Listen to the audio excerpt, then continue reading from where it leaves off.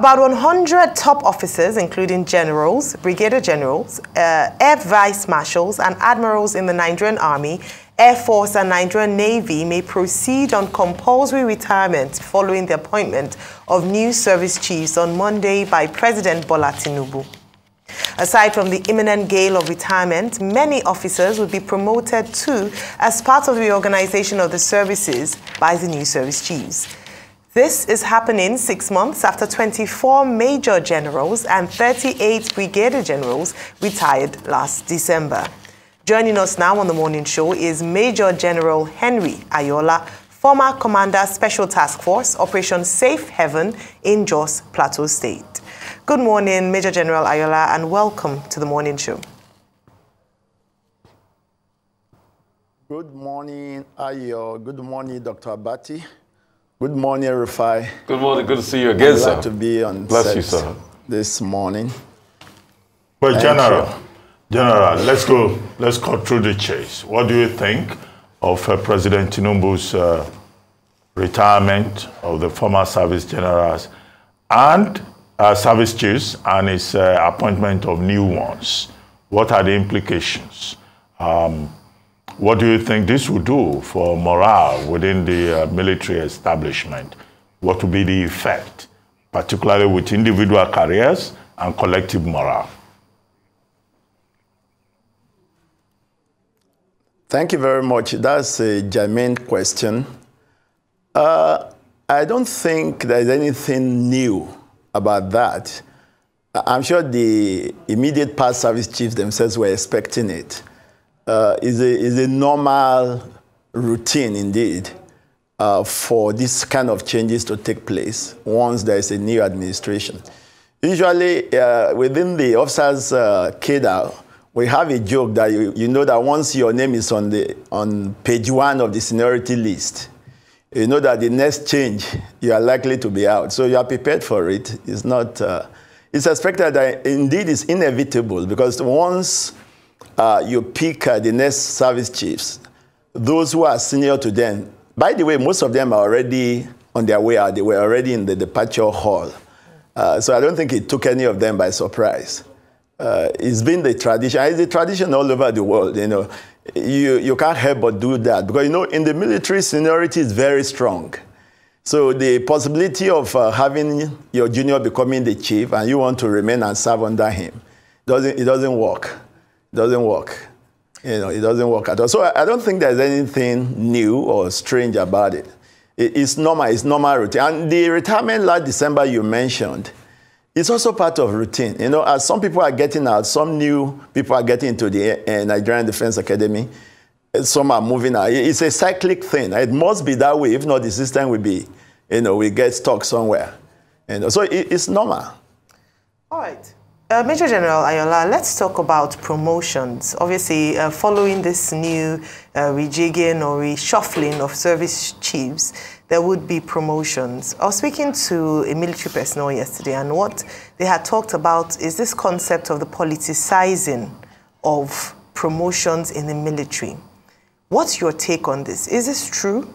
Is it true that um, beyond just the rank and file is also a place for lobbying to get a you know a good posting or good position, whereby it's not necessarily based on um, you know the ranking, based on competence, based on how many years? What what, what do you have to say about this?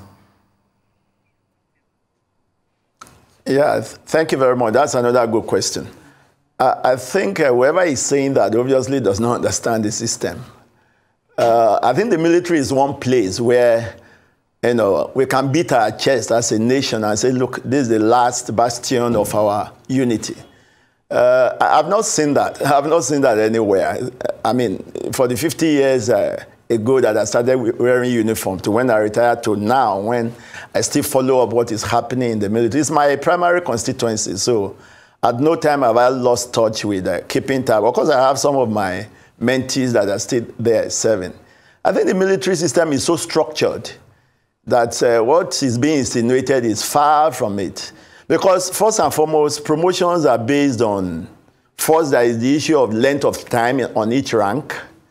There are also issues of, there is also a promotion board. There is the issue of merit. Your performance in all your courses are recorded. They are graded. There's also what we call the personal evaluation report that is done annually. All of that counts. So the idea of uh, anybody being favored, even if your father is the president, you can't be promoted ahead of your classmates. It's not possible in our system. And even if you are the smartest officer in the whole wide world, it will have to be a totally unprecedented thing to set, to attempt to promote you ahead of your colleagues or above your seniors. It, it upsets the old systems. We've not had that. Eh, maybe in the 60s, 70s, when you had the generation of senior officers who went to different academies, you know, you know, they were sent to different academies all over the world. Even at that, still, we still have a way of measuring seniority. That is what we call the antedate, or the day you started cadet training. Okay, that is basic.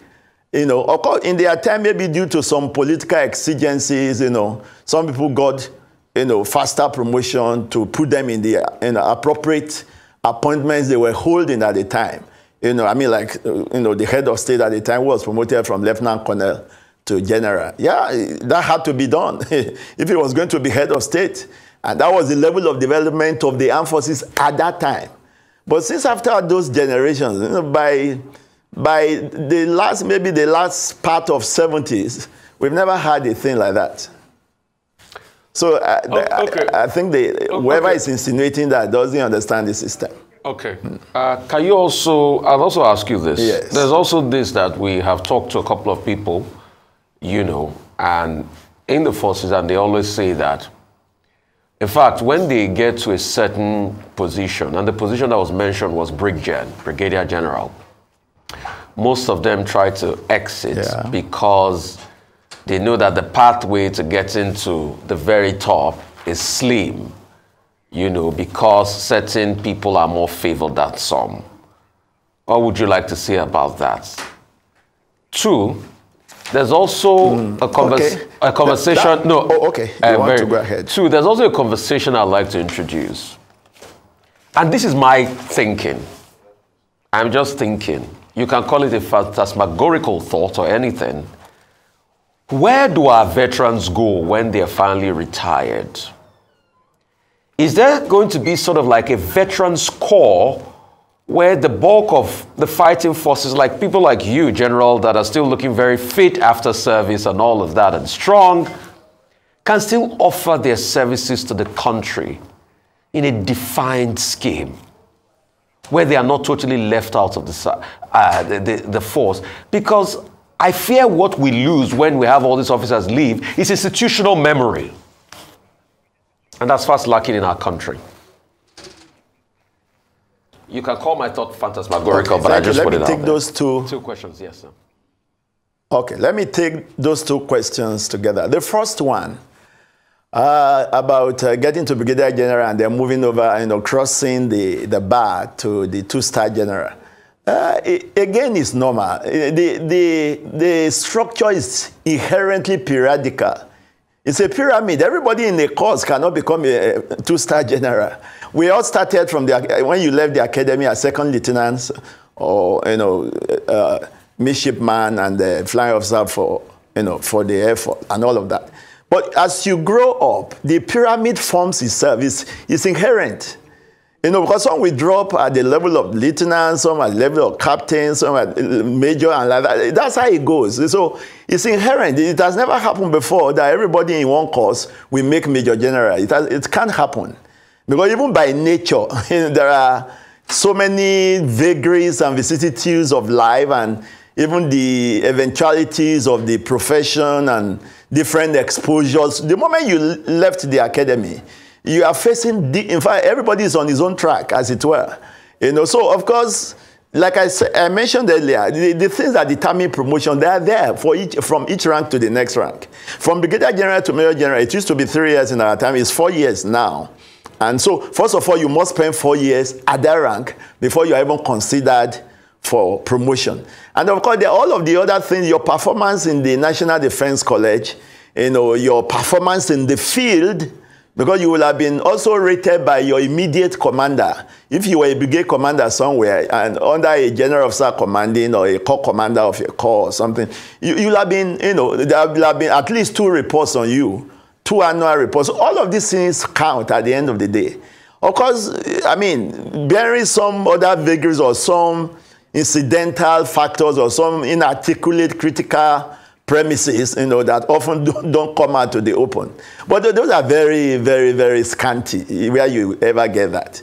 You know, the, the system is so streamlined and so structured. And that has helped us. That's why you find that in the military, you don't have grumblings or people say, oh, this man was promoted, was favored or was promoted ahead of his colleague. It doesn't happen. it doesn't happen. So okay, so that's that one. Then talking about what to do with uh, retired officers generals in particular. We have a few places where we find you know, retired officers can fit into in this system. But like you said, it's got to be a structured statutory thing, not, uh, not on the basis of whether the, the chief at the time likes your face so he fixes you somewhere or something. You know, that is actually structured so that we can tap for the immense experience of these uh, retired generals. Yeah, sure. We, we've not, we don't, I mean, sincerely, we don't have a policy about reserve in our armed forces yet. But I'm sure that's one area where the new leadership could look into. Because like we're facing, you know, a national security challenge right now. There are people who have so much to offer. And why those who are still serving can face the operations, they can be doing, you can form a think tank to support them on the intelligence side, on the operational side, on the political or non-kinetic side so that they can think out. Because it's not very easy to be the one thinking at the same time be the one acting in the field. You know, these are the kind of convergence of effort that will help the nation to resolve, you know, the kind of challenges that we are facing. Okay, General. Yeah, I agree with you on that. We need to do something about that. Yes, General, there have been some emotional responses uh, to the appointment of service chiefs. Some people saying some you know, uh, senatorial zones have been better favored than others. But I've seen a short analysis by Professor uh, Kemi Rotimi of the Obafemi Awolowo University. And he is saying in that statistical analysis that between Obasanjo and now, uh, that except for the northeast and the southeast, other zones have been fairly served. Except for the northeast and the southeast, and he says that, uh, you know, between OBJ and uh, Tinubu, um, the grand summary will seem to be Northwest 12, North Central 9, Northeast 4, Southwest 8, Southeast 3, South South 9. So do you agree with his uh, summation that, uh, well, except from the Northeast and Southeast, between 99 and now, uh, you know, other zones have been fairly well served. And then the emotions that people have been bringing up. Oh, there's only one Igbo in uh, Bola Ahmed Tinubu's uh, list. Oh, our own zone uh, deserves uh, more. What do you think? Should the geopolitical configuration okay, uh, they, not... determine the appointment of service chiefs? Okay, thank you very much, Doctor. Uh, let me take you back to the question. Those numbers you were churning out, are, are they talking of number of generals or number of service chiefs or what? what service chiefs. Service chiefs. Service chiefs. Okay. Okay.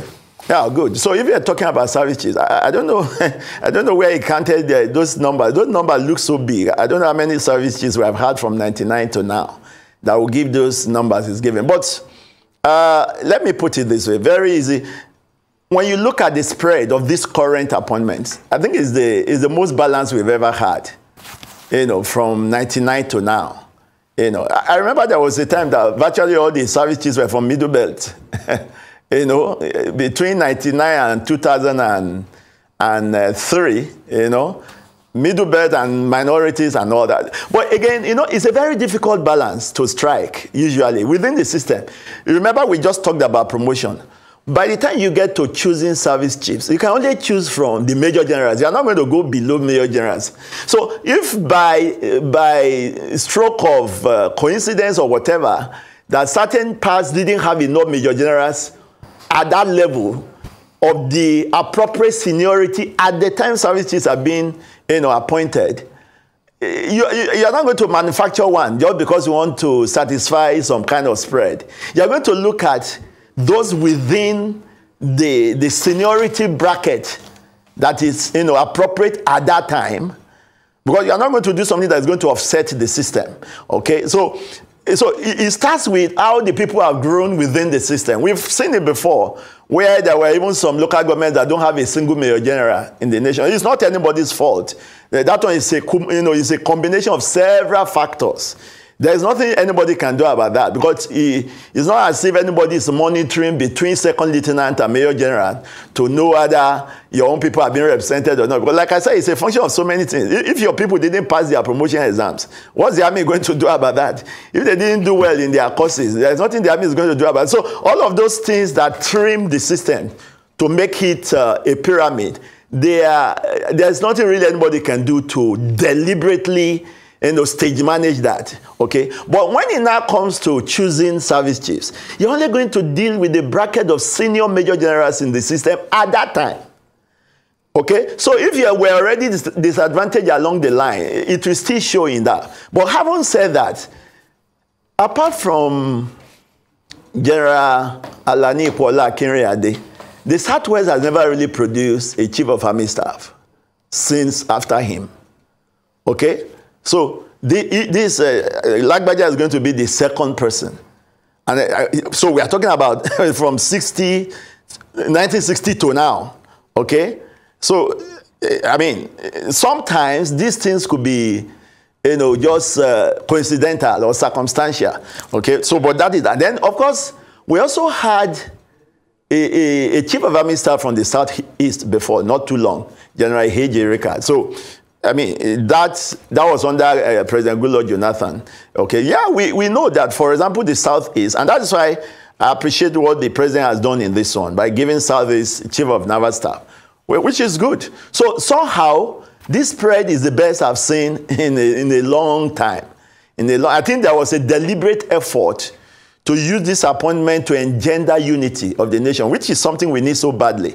Because the last, for the, for the past years, that the cohesion among us have been shaken and been tested.